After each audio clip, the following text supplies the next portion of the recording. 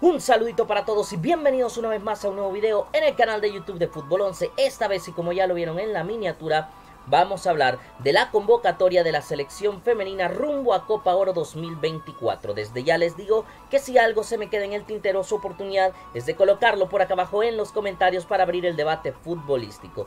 Dicho eso, arrancamos desde la portería con las tres guardametas que, por cierto, hay que aclarar, estarán no solo para este enfrentamiento contra Guatemala del próximo 17 de febrero, donde la selección de Erika Cuña se juega el boleto para la competición continental o subcontinental, la de CONCACAF, sino que también en caso de clasificar, esa misma lista de 23 jugadoras se quedaría para Copa Oro. Ya no habría modificaciones en el roster para el azul y blanco. Aclarado lo anterior, vamos con las porteras. Y es que Idalia Serrano aparece como la gran titular, la habitual del proceso de Erika Cuña en azul y blanco, la futbolista de Utah Valley University de los Estados Unidos. también está Samantha Valadez del OU, espero haberlo dicho bien, aunque me imagino será una pronunciación más anglosajona, pero bueno, también futbolista de eh, que milita en los Estados Unidos y finalmente Nicole Valenzuela del Alianza Femenino.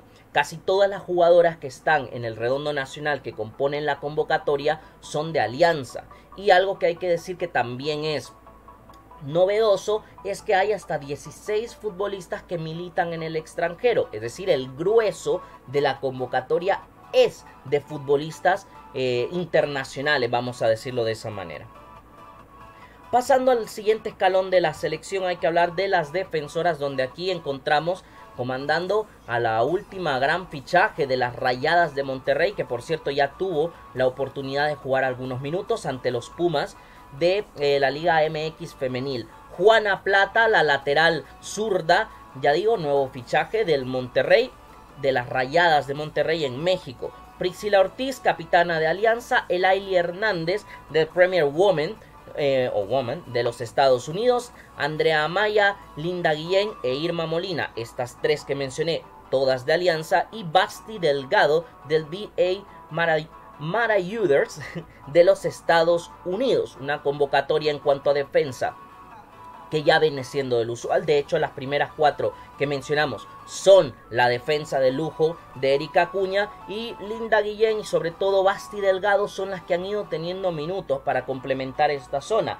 Basti no solo lo ha hecho como defensora central, sino que, sobre todo en la selección azul y blanco, ha jugado como mediocampista defensiva, muchas veces para ir rotando los minutos de Alejandra Chirino en la siguiente demarcación del campo. Y hablando de centrocampistas, pasamos justamente a la medular de la selección, donde aquí sí que tenemos una vamos a decir, un fichaje estrella gracias a la gestión de Erika Acuña. Y es que Samantha Fisher, jugadora del Colorado Red Star, de las Estrellas Rojas de Colorado, de la primera división de los Estados Unidos, una de las mejores ligas del mundo a nivel femenino, es la nueva adquisición para la selección. Ha estado entrenando con la selecta en estos últimos, este último proceso de microciclos en donde ya Erika Cuña ha afinado detalles para enfrentar a Guatemala el próximo 17 de febrero y se ha, se ha sumado Samantha Fisher, que de verdad me parece un, obviamente no es un fichaje, pero es la mejor manera que tengo para explicarlo, prácticamente un, eh, unir a una eh, ficha de las mejores jugadores probablemente del área de, la CONCACAF en, su liga respectiva, destacado y siendo convocada en los últimos Juegos de Estrellas de, de la Liga Femenina de los Estados Unidos. A nivel universitario destacó muchísimo eh, también. Entonces creo que es una adición muy fuerte para esta selección y que ya lo hablaremos después. Creo que puede modificar un poquito el 11 titular que ha venido mostrando Erika Acuña básicamente desde el 2023. Amber Marinero también está en la convocatoria del Premier Woman de Estados Unidos, Karen Reyes del Necaxa, Dania Gutiérrez también de, Premier Woman, Isabela Recinos de la Universidad de Massachusetts, Massachusetts también de los Estados Unidos de Norteamérica. Perdón por mi pronunciación. Alejandra Chirino de Premier Woman. Daniele Fuentes, yo le digo Daniele, pero sé que es Daniel, no me gusta más españolizado en ese aspecto. Daniele Fuentes, la Centella del Necaxa femenino, Victoria Mesa de la Universidad de Texas State en Estados Unidos, Maquena Domínguez de la Universidad de Carolina del Norte y Jacqueline Velázquez que ya sabemos que estaba en alianza pero que actualmente se encuentra sin equipo. Presuntamente podría eh, ser una de las nuevas legionarias del fútbol salvadoreño. Finalizamos con el ataque donde aparece Brenda Serén, la bicha mejor denominada popularmente por su afición la, en Atlas Femenil en la Liga Mexicana MX y Jocelyn Abigail López del Real Esteli de Nicaragua y Samaria Gómez que actualmente se encuentra sin equipo pero bueno ha estado entrenando a las órdenes de Erika Cuña prácticamente todo 2023 y todo el inicio de 2024 por lo que está bastante en forma. Creo que en ataque tenemos un muy buen roster porque más allá de que Samaria no ha estado em, compitiendo a nivel de clubes en los últimos meses, pero conoce perfectamente la ideología selección nacional, el contexto selecta, así que no es nuevo para ella. Jocelyn eh, López, que está en el extranjero, y Brenda Seren también en el extranjero, que están compitiendo en ligas probablemente mejores que la liga salvadoreña, creo en ese aspecto que es a pesar de solo ser tres delanteras, pero bueno, ahí Daniel Fuentes, Karen Reyes, que también son atacantes barra mediocampistas, terminan de completar un roster que a mi juicio está bastante completo. Quizás la, la gran baja de esta convocatoria es Paola Calderón, la futbolista del Pérez Celedón, que no está dentro de las 23 que jugará Copa Oro. A partir de revisar la convocatoria, nuevas adiciones y de notar que es una es una lista con muchas futbolistas que militan en el extranjero. He armado mi 11 de lujo, mi 11 ideal para el equipo de Erika Cuña.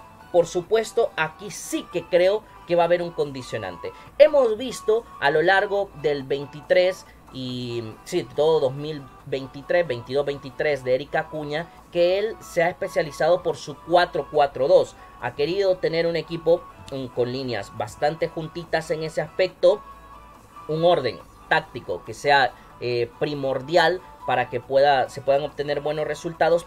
Pero creo que la adición de Samantha Fisher sí que puede modificar un poquito. Dentro que Samantha también podría jugar como mediocampista por derecha y mantener el 4-4-2 de Erika Cuña, como también puede ser al ser una, una nueva adición que de momento Samantha no sea titular, pero claro, yo estimo, supongo, presupongo que al traer una futbolista de tal calibre como Samantha Fisher viene para ser titular en la selección nacional. Así que, a mi juicio, a pesar de que se pueda mantener el 4-4-2, creo que esto puede ser más cercano a lo que podemos ver. En portería, Idalia Serrano, la zona defensiva para Juana Plata, Elaili Hernández, Priscila Ortiz y Andrea Amaya, nada de novedades. las cinco defensoras, incluyendo a Serrano, que han sido la columna vertebral del técnico Eric Acuña a lo largo de todo el 2023 y que es básicamente la defensa que destacó en los Juegos Centroamericanos. En el centro del campo es donde yo creo que veríamos la gran modificación. Y vuelvo a insistir, entiendo que puede ser eh, Victoria Mesa y Fisher en el centro del campo y mantener a tus aleras por los costados. Lo entiendo perfectamente, pero creo que con la calidad de centrocampista que es Samantha Fisher, vale la pena hacer la prueba del 4-3-3. Es un partido muy importante, arriesgar tal vez no es lo más coherente, pero vuelvo a insistir, cuando tienes una pieza de tal nivel, creo que hay validez para querer cambiar el 11.